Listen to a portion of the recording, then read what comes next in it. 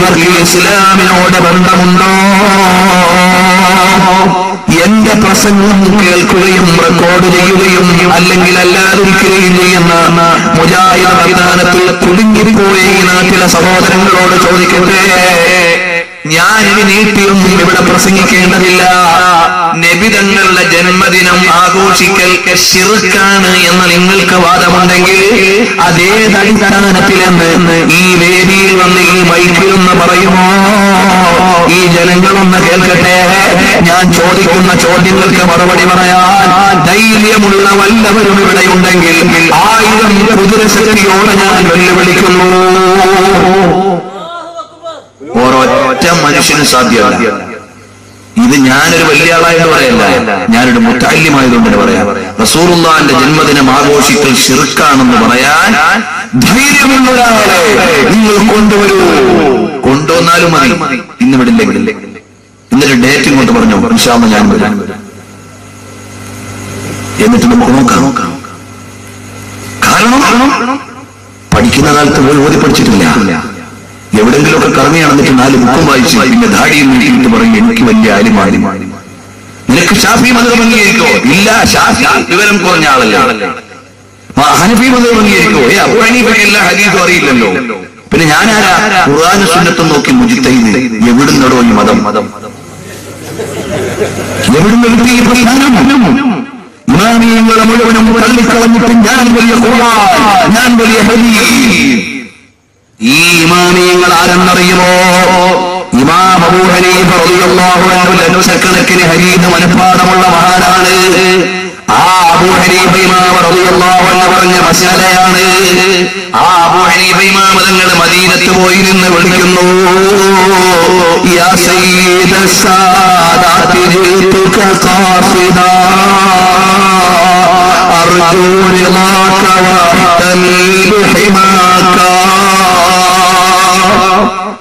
മദീനത്ത് പോയിട്ട് അബൂ ഹനീഫ ഇമാം തങ്ങൾ റസൂലുള്ളാഹി തങ്ങളെ നേരിട്ട് വിളിക്കുകയാണ്. യാ സയ്യിദ സാദാതി ജിതുക ഖാസിദാ. ഓ നേതാക്കളുടെ നേതാവായ നബിയേ തങ്ങൾക്ക് തങ്ങളെ ലക്ഷ്യം വെച്ചുകൊണ്ടാണ് ഞാൻ ഇങ്ങോട്ട് വന്നത്. അർജു വഅ്തമീ ബിഹിമാക അവിടുത്തെ പ്രീതിയും അവിടുത്തെ സുരക്ഷയും പ്രതീക്ഷിച്ചാണ് ഞാൻ ഇങ്ങോട്ട് വന്നത്. എന്ന് പറഞ്ഞിട്ട് ഇമാം അബൂ ഹനീഫ തങ്ങൾ പറയാണ്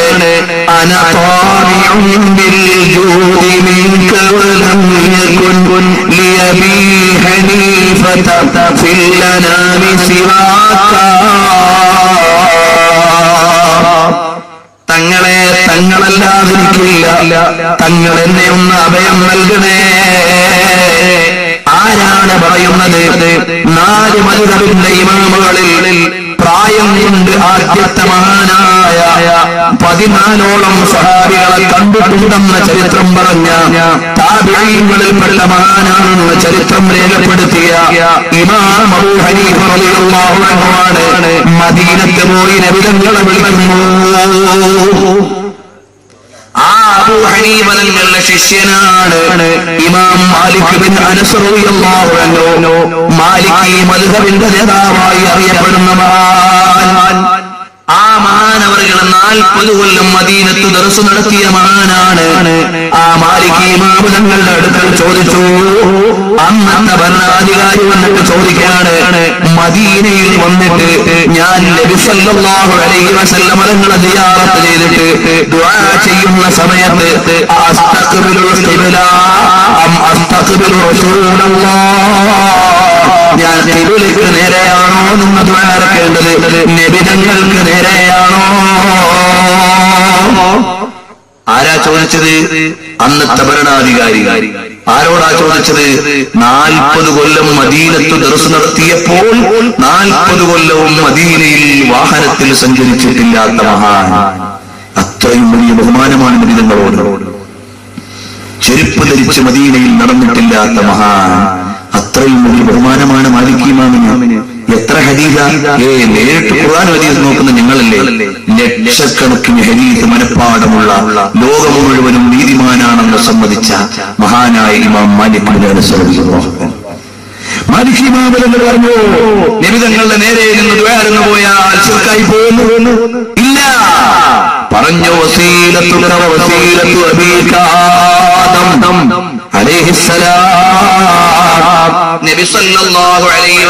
തങ്ങളിലേക്ക് തിരിഞ്ഞുകൊണ്ട് ചെയ്തു. കാരണം ആ നമുക്ക് നിർണയിച്ച് പഠിപ്പിച്ചു തന്ന നേതാവ്. അപ്പൊ ഹബീബായ നിബിതങ്ങളുടെ മുമ്പിൽ അങ്ങോട്ട് തിരിഞ്ഞെന്ന് ദ്വാരുന്നുകൊണ്ട് ഒന്നും വരാനില്ല. നബി സല്ലല്ലാഹു അലൈഹി തങ്ങളുടെ മുമ്പിൽ നിന്ന് അവിടുത്തോട് അതാ പറഞ്ഞുകൊണ്ട് ഒരു കുഴപ്പവും വരാനില്ല. ഇമാം റളിയല്ലാഹു അൻഹുവിന്റെ ഉസ്താദാണ്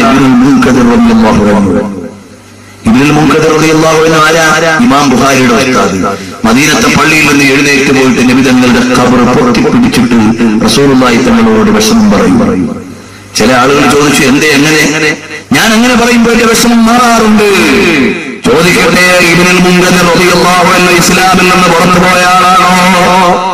ഇമാം മാലിക് തങ്ങളുടെ കിതാബ് തിരിയാത്ത ആളാണോ? ഇമാം അബൂ ഹനീഫ തങ്ങൾ ഖുർആനും സുന്നത്തും അറിയാത്ത ആളാണോ? ഞാൻ ഈ പ്രസംഗം നടത്തിയിട്ട് എവിടെയും പോകാൻ പോണില്ല. ഞാൻ ഈ നാട്ടുകാരനാണ്. ഏത് മൗലവിയിൽ കൊണ്ടുവന്നു? എന്നിട്ട് അവരൊന്ന് പ്രമാണം വെച്ച് പറയട്ടെ. ഇൻഷാ അല്ലാഹ് ജീവനുള്ളിടത്തോളം കാലം റസൂലുള്ളാഹി തങ്ങളെ ചെറുതാക്കി പറയുന്ന ഈ പ്രസ്ഥാനങ്ങൾക്കെതിരെ ശബ്ദിക്കാൻ ഞങ്ങളുടെ ജീവിതം ഒഴിഞ്ഞു വെച്ചു കഴിഞ്ഞവരാണ്.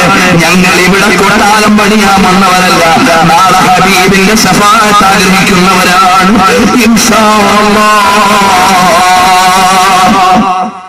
ഞങ്ങൾ ഹബീബിനെ പ്രണയിക്കാൻ ജീവിക്കുന്നവരാണ്. അതുകൊണ്ട് ഏത് വമ്പൻ മൗലവിമാര് വന്നാലും ചോദിക്കോതേ നിബിതങ്ങളെ വിളിച്ച അബുഹനീബൈമാവുതങ്ങളുടെ മുസ്ലിമോ അല്ലേ നബിതങ്ങളുടെ കബറിന്റെ നേരെ തിരിയണമെന്ന് പറഞ്ഞ മാലികീമാവുതങ്ങൾ ശരിയായ മതം പഠിച്ച ആളാണോ അല്ലേ? ഈ എന്തിനേറെ പറയണം? ആ മാലിക് ഇമാമിന്റെ ശിഷ്യനാണ് ഇമാമുന ഷാഫി. ഷാഫി ഇമാം റളിയല്ലാഹു തങ്ങളുടെയും ശിഷ്യനാണ് അഹ്മദ് ബിൻ ഹംബൽ സൈബാനി ആ അഹ്മദ് ബിൻ ഹംബൽ തങ്ങളുടെ ശിഷ്യനാണ് ഇമാം ബുഖാരി. ഇമാം അൻഹു. നിങ്ങൾ ഇമാം ബുഹാരിയെ ഉദ്ധരിക്കാറില്ലേ? ആ ഇമാം ബുഹാരി ആരാണ്? മദ്ഹബുകാരനാണ് ആര് പറഞ്ഞു? ഇമാം സുബ്കി റഹിമഹുള്ള തബഖാത്തു ഷാഫിയ്യത്തിൽ കുബ്രയിൽ രേഖപ്പെടുത്തി. ഇമാം ബുഹാരി തങ്ങൾ ഷാഫിഈയാണെന്ന്. അപ്പം മധുഹബിനെ അംഗീകരിക്കുന്ന ആളെ ഞങ്ങൾക്ക് പറ്റൂലെങ്കിൽ ഇമാം ബുഹാരിയെ നിങ്ങൾക്ക് പറ്റൂല. അപ്പോ തല തിരിഞ്ഞ വാദങ്ങളെ പറയും. ബുഖാരിയിലുണ്ട്. എന്നാ ഈ ബുഖാരി ആരാ? നാലിൽ ഒരു മധുരബിനെ അംഗീകരിച്ച മഹാൻ. ആറ് ഹദീസിന്റെ പണ്ഡിതന്മാരും മധുരബിനെ അംഗീകരിച്ചവരാ ആറ് ഹദീസിന്റെ പണ്ഡിതന്മാരും. ഇമാം ബുഖാരി ഇമാം മുസ്ലിം ഇമാം നസായി ഇമാം ഇബ്നു മാജ ഇമാം തുർമുദി ഇമാം നസായി. ആറുപേരും നാലിൽ ഒരു മധുരബിനെ അംഗീകരിച്ചവരാണ്. ആയിരം കൊല്ലത്തെ മുസ്ലിം ചരിത്രം.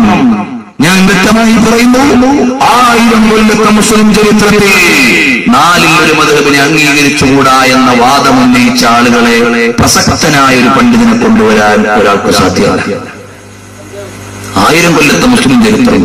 നിങ്ങൾക്കൊക്കെ പരിശോധിക്കാലോ? അപ്പോൾ അത്രയും വ്യക്തമായി ലോകം അംഗീകരിച്ചു നാലാരുടെ മധുരബിനെ അംഗീകരിക്കണം.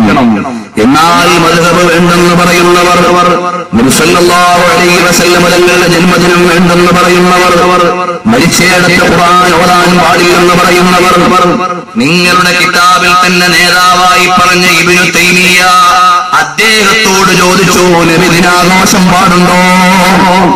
റെക്കോർഡ് ചെയ്തോ? നല്ല നിലയ്ക്ക് മൗലവിമാരോട് ചോദിച്ചോ? എന്ന് എന്ന് പറയുന്ന മുജാഹിദിന്റെ നേതാവിനോട് ചോദിച്ചു നബിതങ്ങളുടെ ജന്മദിനം ആഘോഷിക്കാമോ?